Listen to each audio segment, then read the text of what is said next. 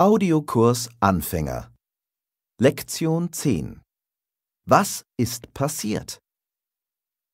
When we left Philip in the last unit, in der letzten Lektion, he was just beginning to ski down the mountain. Remember, Philip tried to tell his friends that he wasn't good at skiing after all. He said, Ich bin eigentlich nicht so gut im Skifahren. But they didn't listen. They wanted to take the hardest route. Remember Michaels description. Alle fahren dort sehr schnell und es gibt viele steile Kurven. Well, you might have guessed it already. Of course, Philip ran into some trouble trying to cope with that difficult run. He's collided with a snowboarder. Er ist mit einem Snowboarder zusammengestoßen. Right now, he's at the doctor's. Er ist beim Arzt. The doctor is examining him. Er untersucht ihn. He is asking Philip, was ist passiert? What happened? Let's listen to Philip's answer. Hören wir Philips Antwort. Before we listen to the dialogue, here are the new words you will need to understand the dialogue. You will hear the English word or a short sentence. Then you will hear the German translation. Afterwards, you have a moment to say the German word or sentence yourself. After the pause, you'll hear the German word or sentence once more. Here we go. Los geht's. The doctor. Der Arzt. Der Arzt. To examine. Untersuchen. Untersuchen. How do you feel? Wie fühlen Sie sich? Wie fühlen Sie sich? Pretty tired out. Ziemlich kaputt. Ziemlich kaputt. My arm hurts. Mein Arm tut weh. Mein Arm tut weh. Headache. Kopfschmerzen. Kopfschmerzen. The nurse. Die Krankenschwester. Die Krankenschwester. Actually, I've already told the nurse everything. Eigentlich habe ich der Krankenschwester schon alles gesagt.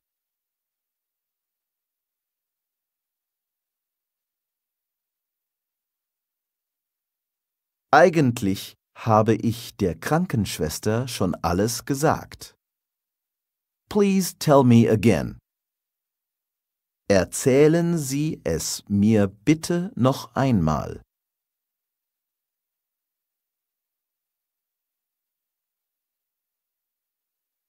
Erzählen Sie es mir bitte noch einmal.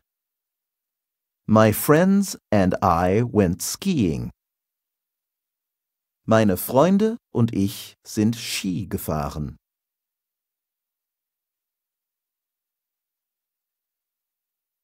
Meine Freunde und ich sind Ski gefahren. Slowly. Langsam. Langsam. But actually, I didn't do anything wrong. Aber eigentlich habe ich nichts falsch gemacht.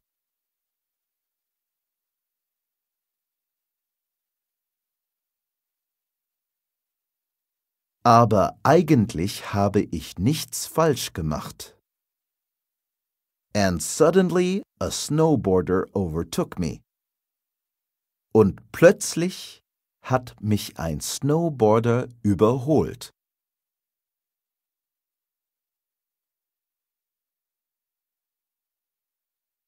Und plötzlich hat mich ein Snowboarder überholt.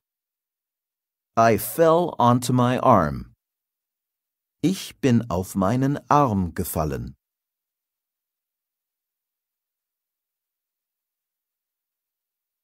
Ich bin auf meinen Arm gefallen.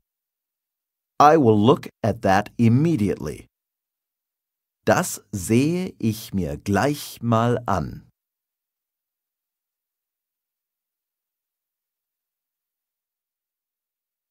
Das sehe ich mir gleich mal an. We will have to x-ray that. Das müssen wir röntgen.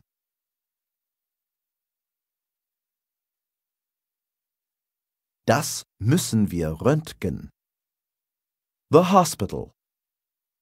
Das Krankenhaus. Das Krankenhaus.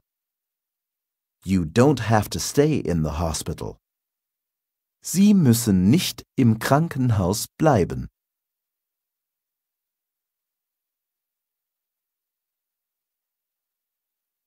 Sie müssen nicht im Krankenhaus bleiben. To be lucky. Glück haben.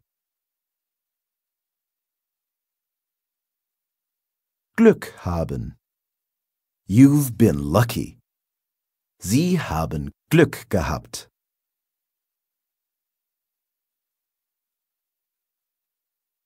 Sie haben Glück gehabt. Good news. Gute Nachrichten.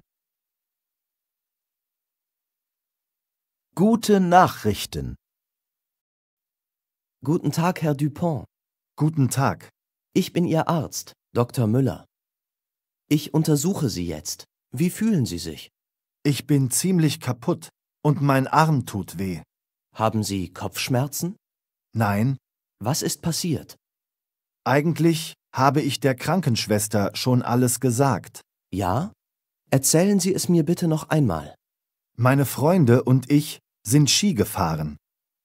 Ich bin ziemlich langsam gefahren und alle anderen sind sehr schnell gefahren. Aber eigentlich habe ich nichts falsch gemacht. Aha. Und plötzlich hat mich ein Snowboarder überholt. Oh, Wir sind zusammengestoßen und ich bin auf meinen Arm gefallen. der Arm. Das sehe ich mir gleich mal an. Das müssen wir röntgen. Aber ich glaube, Sie müssen nicht im Krankenhaus bleiben. Sie haben Glück gehabt. Ja? Vielen Dank. Das sind gute Nachrichten. Dann rufe ich gleich meine Freundin in Berlin an. That was a close call, wasn't it? But it turned out well in the end. In German, we say in such situations, Na, das ist ja noch einmal gut gegangen. A useful little phrase. Repeat after me. Na, das ist ja noch einmal gut gegangen. Now that we know Philip can leave the hospital, das Krankenhaus, again, let's take one more look at German grammar before you too will leave this course and move on to the next level. In this dialogue, you've heard Philip describe what happened on the ski slope. He was talking about something that happened in the past. In German, the tense we use most often to talk about the past is called the perfect. In this unit, we will take a first look at the perfect and how it is formed. First of all, you should know that it consists of two parts. The first part is an auxiliary. It's either a form of to be or a form of to have. The second part is a special verb form called the participle. We'll begin with the first part, to be or to have.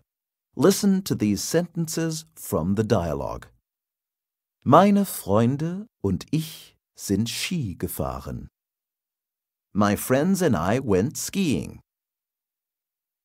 Ich bin ziemlich langsam gefahren. I was skiing pretty slowly. Wir sind zusammengestoßen. we collided. Sind, bin, sind. All forms of to be. Did you notice something that these sentences have in common? They are all about movement. So for now, you can remember, we use a form of to be for movement. Now listen to some more sentences from the dialogue. Eigentlich habe ich der Krankenschwester schon alles gesagt. Actually, I have already told the nurse everything. Aber eigentlich habe ich nichts falsch gemacht. But actually, I didn't do anything wrong. Sie haben Glück gehabt. You've been lucky. Habe, habe, haben. All forms of to have. As a general rule, you can remember that all sentences which are not about movement take a form of to have.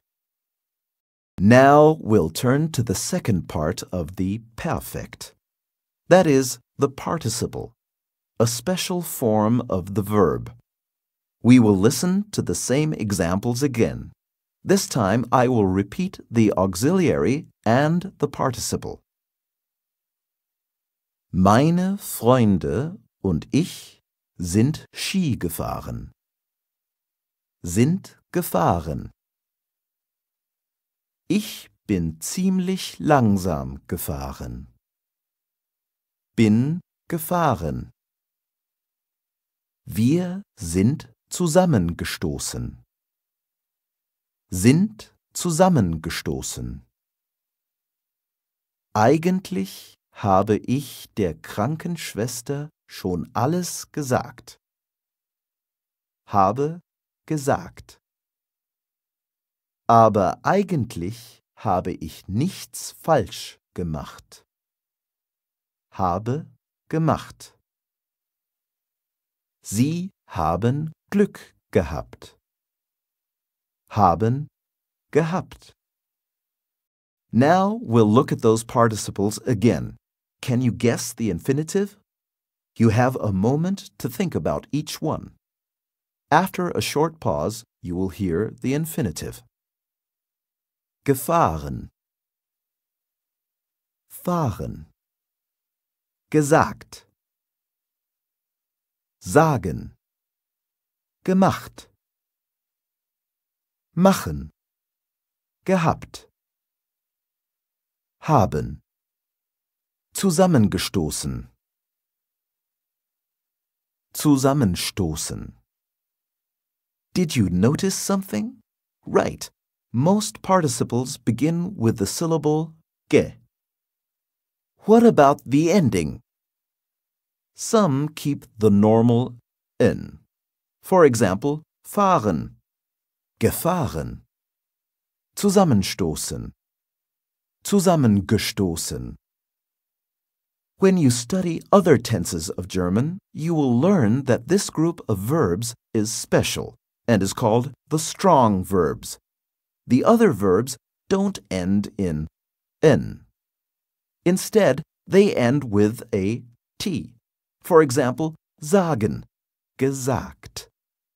Machen, gemacht. Haben, gehabt.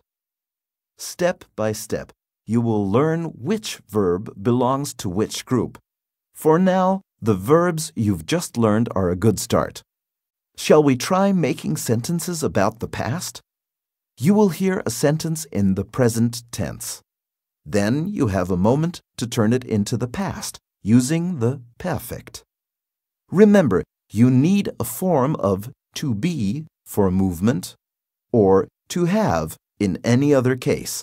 And don't forget the participle. Philipp macht keine Hausaufgaben.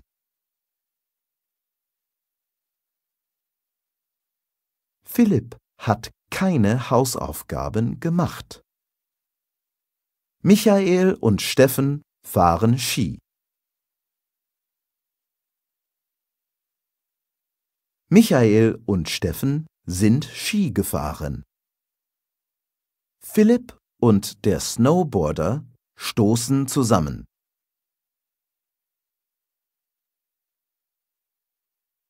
Philipp und der Snowboarder sind zusammengestoßen. Philipp hat Glück. Philipp hat Glück gehabt. Der Arzt sagt Guten Tag.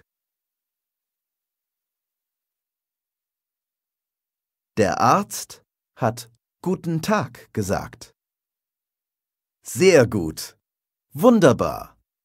Now it's time for me to say Auf Wiedersehen. Vielen Dank fürs Zuhören. Thank you for listening.